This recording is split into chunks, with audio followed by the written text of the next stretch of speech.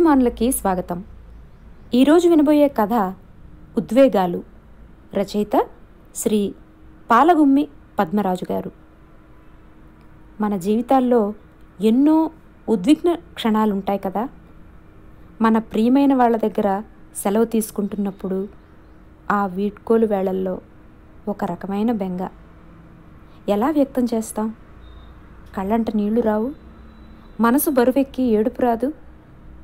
కానీ లోపల పడినంత బెంగ బయటకు వ్యక్తం చేస్తామా అది పది మంది దగ్గర. స్వచ్ఛంగా స్వేచ్ఛగా ఆ ఉద్వేగాన్ని వ్యక్తపరచగలగడం నిజంగా అదృష్టమే. ఒక్కోసారి అనిపిస్తుంది హాయిగా నవ్వడమే కాదు మనసు తీరా ఏడవగలగడం కూడా ఒక వరమే. అలాంటి స్వచ్ఛమైన మనసు కథ ఇది. వినండి పాలగుమ్మి పద్మరాజు గారి కథ ఉద్వేగాలు. ఉద్వేగాలంటే నాకు చాలా అసహ్యం. ఏమీ కారణం లేకపోయినా ఏడవగలగడం ఒక గొప్పతనమేమో కానీ సంఘ మర్యాదకి నాగరికతకి తగినది మాత్రం కాదు. పెద్దవాళ్ళు ఎవరైనా కంట నీరు పెట్టుకుని ఏడిచారంటే నాకు రోత. నాకే కాదు నాగరికత అంటే తెలిసిన ప్రతి వాడికిని. హరిశ్చంద్ర నాటకంలో కూర్చుంటే వేషాలు వేసేవాళ్ళు సరిగ్గా ఏడవలేకపోయినా మనకి అటూ ఇటూ కూర్చున్న వాళ్ళు ముక్కులు చీదుకుంటూ గొంతులు సవరించుకుంటూ కళ్ళ నీరు తుడుచుకోవడం చూసినప్పుడల్లా అరెరే ఏమిటి మూఢత్వం అనుకుంటాను. పరామర్శకు వెళ్ళే పెద్ద మనుషులంతా తేలికగా కళ్ళనీళ్ళు తెప్పించుకుని కష్టమంతా తమదైనట్టుగా నటించగలగడం చాలా కష్టమేమో. కానీ అది సభ్యత ఎంతమాత్రం కాదని నా నిశ్చితాభిప్రాయం. నాకు ముప్పై ఏళ్ళ కిందటి మాట జ్ఞాపకం వస్తోంది. మా చెల్లెలినప్పుడు శేషి అనేవాళ్ళం. దానికి ఐదో ఏడు నాకు తొమ్మిది. మా అమ్మమ్మ గారి ఇంటి దగ్గర మాకిద్దరికి బాగా అలవాటు. మా అమ్మ లేకపోయినా ఒకటి రెండు వారాలు మా అమ్మమ్మ దగ్గర శేషి ఉంటూ ఉండేది. మా అమ్మ నాన్న కాశీ రామేశ్వరాలు యాత్ర పెడుతూ ఉండగలమనే ధైర్యం మీద శేషిని నన్ను అమ్మమ్మగారింటి దగ్గర వదిలి వెళ్ళిపోయారు. అప్పుడు మా శేషి చాలా చలాకీగా ఉండేది. అదంటే అందరికీ చాలా ముద్దు. అంతా దాన్నే ఎత్తుకునేవారు. అంచేత నాకు కొంచెం ఈర్ష్యగా ఉండేది. దాని మీద నాకు అధికారం ఉందని నిరూపించుకోవడానికి అప్పుడప్పుడు కొంచెం కేకలు వేసేవాడిని. దానికి కోపం వస్తే రాజుగారి జొత్తుందను అనేది. నేను కొంతసేపు జవాబు చెప్పకుండా కూర్చుంటే దగ్గరగా వచ్చి ఉంటానులే నన్ను ఎప్పుడు అలా అనకే మళ్ళీ అని సమాధానపడేది. దాని మాటలు అందరికీ నవ్వు వచ్చేవి. ఒకనాడు రాత్రి గదిలోకి ముందు మా అత్తయ్య వెళ్ళింది. తర్వాత మా మామయ్య వెళ్ళాడు. మామయ్య తలుపు దగ్గరగా వేసుకుంటున్నాడు. అప్పుడు మా అమ్మమ్మ పక్కన పడుకున్న శేషి ముఖం అదో మోస్తరుగా పెట్టింది కదా. ఛీ అసహ్యమమ్మ. ఎవరన్నా గదిలో తలుపేసుకు పడుకుంటారేంటి? ఛీ! అని. మామయ్య వెంటనే తలుపు తెరిచి పక్కపక్క నవ్వి దాన్ని ఎత్తుకొని గదిలోకి తీసుకెళ్ళాడు. మా అత్తయ్య దానికో పాట నేర్పింది. అలంకరించుకోవే కొడలా అత్తవారింటికి పోవాలి. అసలు పాట ముద్దుగా ఉన్నా లేకపోయినా మా చెల్లి భాషలో అది రూపాంతరం పొంది ఎంతో ముద్దుగా ఉండేది. మేము అమ్మమ్మ గారింటి దగ్గర ఉన్నప్పుడు పక్కింట్లో ఒక అమ్మాయికి కార్యమైంది. మేమంతా భోజనానికి వెళ్ళాం. నాలుగో నాడు ఆ అమ్మాయి అత్తవారింటికి వెళ్ళేనాడు మా వాళ్ళంతా చూడ్డానికి పెడుతుంటే నేను శేషి కూడా వెళ్ళాం.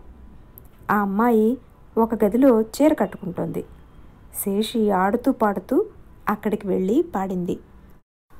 అలంకరించుకోవే కోడలా అత్తవారింటికి పోవాలి. ఆ పాట అర్థం దానికి అసలు తెలియదు.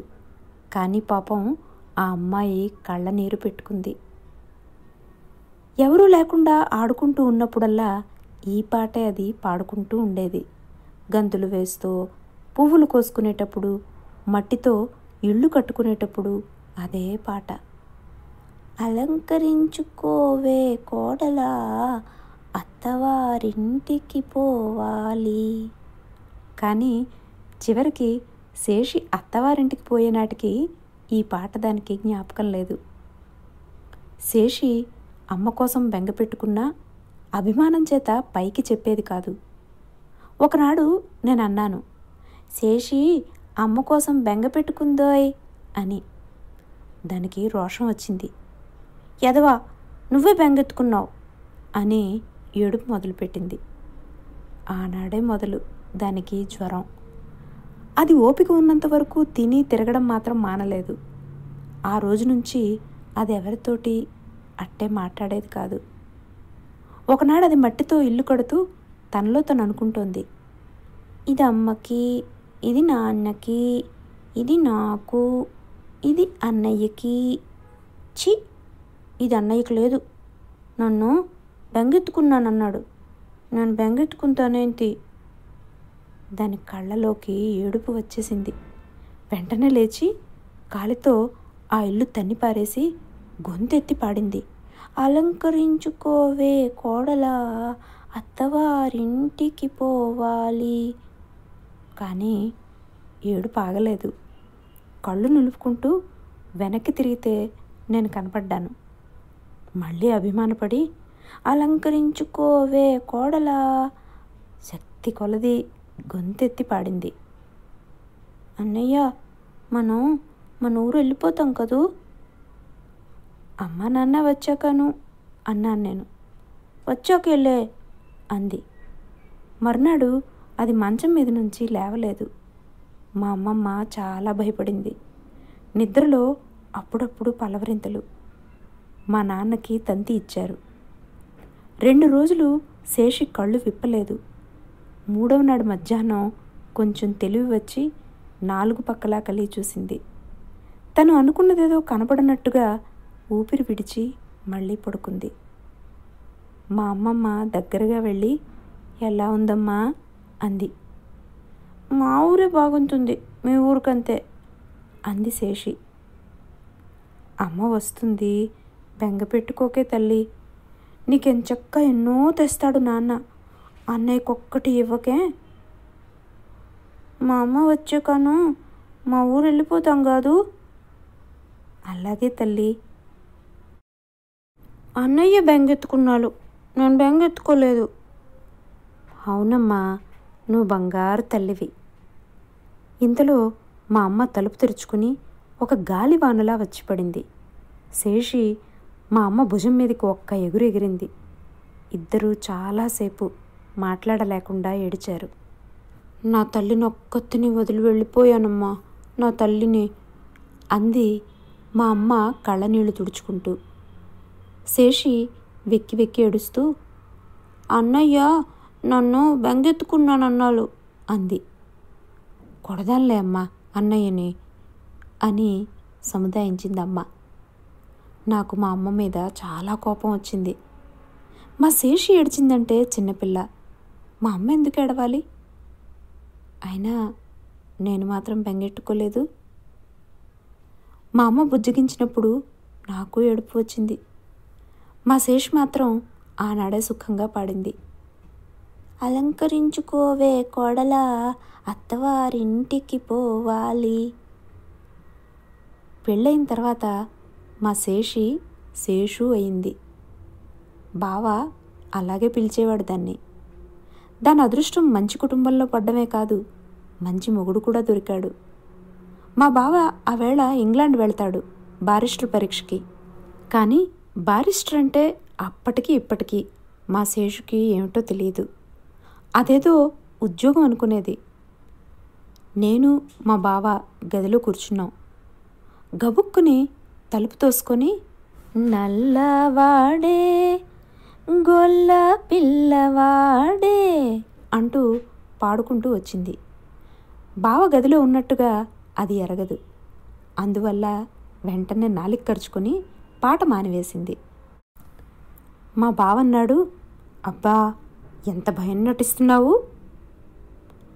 అయితే పోనీయండి మానవేయనే వేయను. మళ్ళీ పడింది. నల్లవాడే గొల్ల పిల్లవాడే.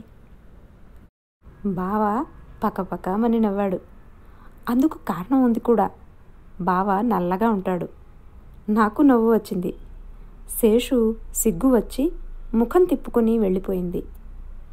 మేం సావిడిలో నుంచి భోజనాలకు పోతూ ఉంటే ప్రక్క గదిలో మళ్ళీ అదే పాట నెమ్మదిగా తనలో తను పాడుకుంటూను. నేను తలుపు తొయ్యబోయాను కానీ మా బావ నా చెయ్యి పట్టు కాపి కొంతసేపు విన్నాడు. భోజనాలయ్యి అంతా సావిడిలో కూర్చున్నాం. బావ మంచం మీద వెళ్ళగిలా పడుకున్నాడు. మా అందరి ముఖాలు దీనంగా ఉన్నాయి. బావ వెళ్ళిపోతాడా వేళ? మళ్ళీ అన్నాళ్ళో. ఒక కుర్చీలో బావకి కనపడకుండా కూర్చుని తమలపాకులకి ఈనెలు తీస్తోంది శేషు. పాడుకుంటోంది. నల్లవాడే గొల్ల పిల్లవాడే. బావ తదేక దీక్షతో వింటున్నాడు. కానీ తను ఆ పాట పాడుతున్నట్టుగా అది ఎరగదు కళ్ళు దీనంగా ఆలోచిస్తున్నాయి. పెదవులు ఏడవడానికి సంకోచిస్తున్నాయి. ఊర్పుతో ముక్కు కొంచెంగా అదురుతోంది. ఇంతలో మా చిన్న తమ్ముడు అందుకున్నాడు. నల్లవాడే గొల్ల పిల్లవాడే. శేషుకి అప్పటికి తెలిసింది. తన ఆ పాట పాడుతున్నట్టుగా. వెంటనే ముఖం ఎత్తి చూసింది. ఎవరన్నా కనిపెడుతున్నారా అన్నట్టు. మా తమ్ముణ్ణి దగ్గరగా పిలిచి ప్రోత్సహించింది. పాడరా తమ్ముడు. నువ్వే పాడరాదు. సరదాగా ఉంటే ఇందాకటి నుంచి పాడుతున్నావుగా అన్నాడు బావ. బావా నేను ఊళ్ళో చుట్టాలని చూడ్డానికి వెళ్ళి మూడు గంటలకి ఇంటికి తిరిగి వచ్చాం. శేషు గొంతు గట్టిగా వినబడుతోంది. నల్లవాడే గొల్ల పిల్లవాడే. గొంతుక సాఫీగా లేదు. గట్టిగా పాడిన కొద్దీ కొంత జంకుతోంది. రాబోయే కన్నీటితో ఆమె దెబ్బలాడుతోందా అనిపించింది. బావ గదిగుమ్మల్లోకి వెళ్ళి నిలబడ్డాడు. ఆమె కళ్ళల్లో నీళ్ళు తుడుచుకోవడానికి సావకాశం లేకపోయింది. చర్రున లేచి లోపలికి పారిపోయింది. మా బావ ఎంతో సానుభూతితో చిరునవ్వు నవ్వబోతూ కొంతసేపు అలా నిలబడ్డాడు. నేను శేషు బావని సాగనంపడానికి స్టేషన్కి వెళ్ళాం. రైలు రావడానికి ఇంకా పావు గంట వ్యవధి ఉంది.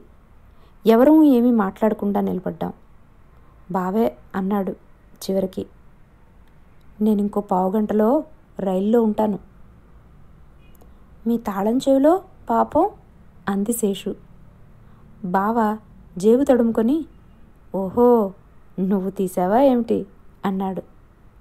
ఇది బాగానే ఉంది. నేనే ఎరుగుదును? కానీ అదే తీసినట్టుగా చెప్పడంలోనే తెలిసిపోయింది. బావ రెట్టించి అడగలేదు. రైలు వచ్చి ఆగింది. సామాను రైలులో ఎక్కింది. శేషుని చూస్తే నాకు గుండెలు దడదడా కొట్టుకున్నాయి. కొంచెం ముఖం కిందికి వంచింది పెదవులు సగం విప్పి ఉన్నాయి. వేలిగోటుతో మునిపంటిని నొక్కుతూ నిలబడింది. కళ్ళలో నీటి బిందువులు ఇంకా చెక్కుల మీదకి జారడమే తరువాయి. వాటిని తుడుచుకుంటే తను ఏడుస్తూ ఉన్నట్టు అందరికీ తెలిసిపోతుందని అలాగే నిలబడింది. బావ దగ్గరగా వెళ్ళాడు. శేషు తల ఎత్తలేదు. వెడుతున్నాను అన్నాడు. శేషు తాళం చెవుల గుత్తి బావ చేతిలో పెట్టింది. బావ ఆ చేతిని తన చేతిలోకి తీసుకున్నాడు. ఛీ ఏడవకు ఎందుకు ఏడుస్తావు? అన్నాడు. శేషు లేదన్నట్టు తల ఊపింది కానీ కన్నీటిని తుడుచుకోలేదు. ఇదిగో ఇలా చూడు. నే వెళ్ళిరానా శేషు సరేనన్నట్టు తల ఊపింది. బావ శేషు వీపు మీద ఒకసారి నిమిరి ఒక నిట్టూర్పు విడిచి రైలు ఎక్కాడు. ఇంక మా శేషుకి అభిమానం అంతా పోయి ముఖం ఎత్తి రైలు వైపు చూస్తూ మనసారా ఏడ్చింది. ఎవరన్నా చూస్తే ఏమనుకుంటారు? నేను ఊరుకోబెట్టడానికి వీల్లేని పరిస్థితి అది. అసలు అటువంటి పరిస్థితులంటేనే నాకు అసహ్యం. ముఖం చిట్లించి మా శేషుని ఊరుకోబెట్టే బాధ్యత ప్రకృతికి వదిలివేసి ఇంకో పక్కకి తిరిగి చూస్తూ నిలబడ్డాను. శేషు తర్వాత శేషప్ప అయింది. ఈలోగా చాలా మార్పులు జరిగాయి. శేషప్ప అదృష్టం తలకిందు అయింది. మా బావ చాలా చిన్న వయసులోనే పోయాడు. ఆమెకు ఒక ఆడపిల్ల. డబ్బుకి లోట్లేదు మా బావ అట్టే సంపాదించేదాకా బతకపోయినా అసలు వాళ్ళ స్థితిగతులు మంచివి. బావ పోయిన తర్వాత శేషప్ప మా దగ్గరే ఉంటూ వచ్చింది. మా మేనకోడలికి ఒక మంచి సంబంధం చూసి పెళ్ళి చేశాం. కుర్రవాడు బిఏ పాస్ అయ్యాడు. స్థితిగతులు చెప్పుకోతగ్గవి కాకపోయినా లోటు లేని సందర్భం. కార్యం కూడా అయిపోయింది. అతను బిఎల్ చదివే ఉద్దేశంతో కాపురం మద్రాసులో పెట్టదలుచుకున్నాడు. ఇంకొక వారం రోజులకి అతను మద్రాసు వెడతాడనగా నేను స్వయంగా అతన్ని మా ఇంటికి తీసుకొచ్చాను. మా ఊరి వారందరికీ పదోసారి శేషప్ప తన అల్లుణ్ణి చూపించి అంటూ వచ్చింది. మా అల్లుడండి మద్రాసులో కలెక్టరీ చదవడానికి వెడుతున్నాడు. బిఏ అయిన తర్వాత ఏది చదివినా కలెక్టరీ అనే దాని నమ్మకం. అల్లుడు తనలో తను నవ్వుకుని ఊరుకునేవాడు. నేను మాత్రం మందలిస్తూ అన్నాను ఒసే కలెక్టరీ ఏమిటి? అదంత తేరగా ఉందనుకుంటున్నావా? అల్లుణ్ణి గురించి అంత తెలిసిపోయేటట్లు గొప్ప చెప్పుకోవటం సభ్యత కాదని నా భయమేమో. ఆర్ని అమ్మ కడుపు బంగారం గాను మరి నాకు పరీక్షలు ఏమిటో తెలియవురా. మా శేషప్ప మాత్రం పక్కపక్క నవ్వింది. కూతురిని దగ్గరగా తీసుకుని బుజ్జగిస్తూ అంది. మా తల్లి ఏం కష్టపడుతుందో చిన్నపట్నంలో. మాట తెలియదు మంతి తెలియదు అవును. అల్లుడు ఎదుట కూతురిని బుజ్జగించడం నాకెందుకో నచ్చలేదు. మరేం పర్వాలేదు నీకు మళ్ళీ వెర్రిబాగులది కాదు అది అన్నాను. ఆరిని అమ్మ అక్కడ బంగారం కాను? దానికేం తెలుసురా పాపం? తను పెద్దదని పైకి ఏడవకూడదనే సంగతి దానికి కొంతవరకు తెలుసును. ఆ వారం రోజుల్లోనూ చాటుగా ఎన్నోసార్లు కళ్ళు తుడుచుకోవడం నేను చూశాను. కానీ అల్లుడు చూస్తే అమర్యాద అని నా అనుమానం. ఆమె ఏడుపు నటన కాదని నాకు తెలిసిన నాగరికత వాంఛించే ఇతరుల ఎదుట అది వెకిలితనంగా నటనగా అగుపడిపోతుందేమోనని నా భయం. శేషప్ప చివరిదాకా తనని కూడా అల్లుడు మద్రాసు రమ్మంటాడేమోనని మహాసపడింది. వెళ్ళేనాడు మేమంతా భోజనాలయ్యాక సావిడిలో కూర్చున్నాం. అల్లుడు పత్రిక చదువుతున్నాడు కుర్చీలో కూర్చుని.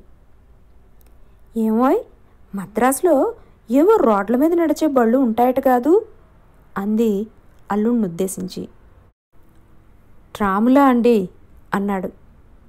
రోడ్డు మీదైతే ఎట్లా ఎక్కుతారని? వెళ్ళి చూస్తే గాని అర్థం కాదు అన్నాను నేను. పోనీ నేను వెడతాను? అల్లుడు మాత్రం వినబడనట్టు పత్రిక చదువుతున్నాడు. అల్లుడికి వినపడకుండా నేను మందలించబోయాను అటువంటి ఉద్దేశాలు మనసులో ఉన్నా పైకి తెలిపోవడం మంచిది కాదు. ఆర్ని అమ్మ అక్కడ బంగారంగాను ఇందులో తప్పేముందిరా మా మేనకోడలు గదిలోకి రాబోయి మొగుణ్ణి చూసి మళ్ళీ వెనక్కి వెళ్ళిపోబోయింది. రామ్మ ఇట్లా వచ్చి కూర్చోవచ్చు. అది వచ్చి శేషప్ప పక్కన కూర్చుంది. మా తల్లి వెళ్ళిపోతుంది వేళ ఒక్కసారి ముక్కు పైకి ఎగబీల్చుకుంది. కళ్ళలో నలక పడ్డట్టు నటించి కళ్ళు తుడుచుకుంది.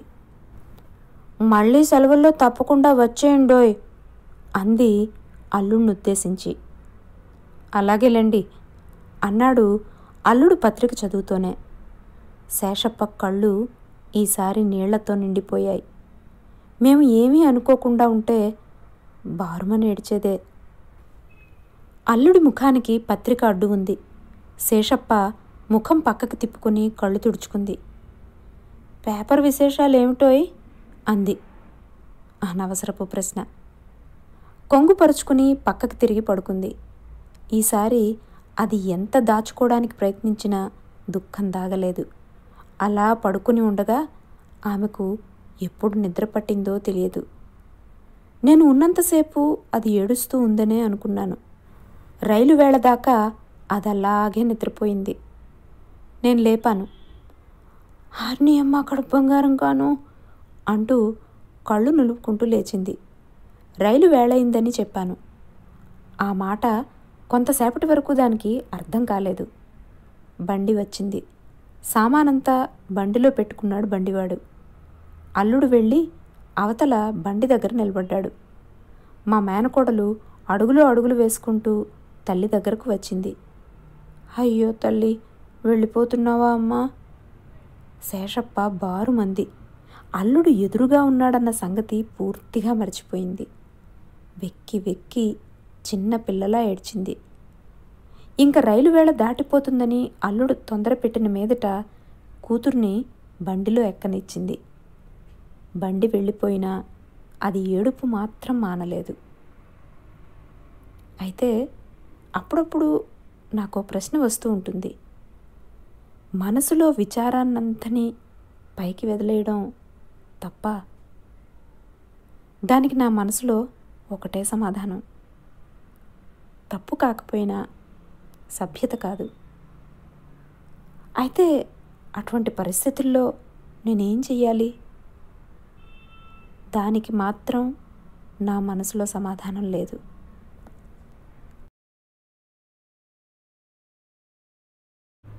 ఇది ఉద్వేగాలు కథ. మీరు చెప్పగలరా పోనీ? మరో మార్గం. వచ్చేసారి మరో మంచి కథతో కలుద్దాం. అంతవరకు సెలవు. నమస్కారం.